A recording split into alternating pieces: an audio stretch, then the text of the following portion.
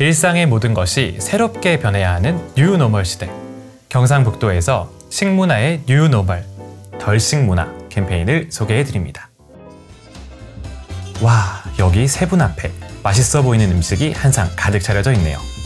모두 즐겁고 행복해 보입니다. 음식을 정말 맛있게 드시네요. 서로에게 덜어주는 모습이 참 정다워 보입니다. 세 분 모두 맛집에서 제대로 힐링 중이신 거 인정합니다. 하지만 여기서 잠깐 조금 전에 맛있게 식사하는 장면으로 돌아가 보겠습니다. 네, 여기서부터 다시 보겠습니다.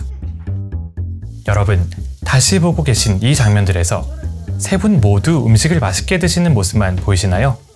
혹시 불편하게 느껴지는 모습은 없으셨나요? 바로 여기 이 장면들을 눈여겨봐 주세요. 보이시나요? 세 분 모두 본인의 입속에 한 번 들어갔던 수저를 그대로 사용해서 친구들에게 음식을 덜어주기도 하고 또 한 그릇에 담겨진 음식을 본인의 수저로 집어서 먹는 모습들 말입니다. 자연스럽게 보이는 식사 모습이지만 서로를 위한 위생을 배려하지 못한 식습관이죠.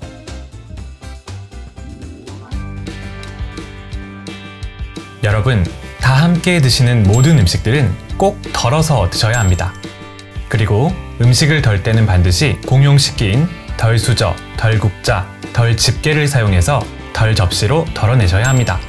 이렇게 서로의 위생을 배려해 공용 식기를 사용해서 음식을 덜어먹는 식사 문화를 바로 덜식 문화라고 합니다.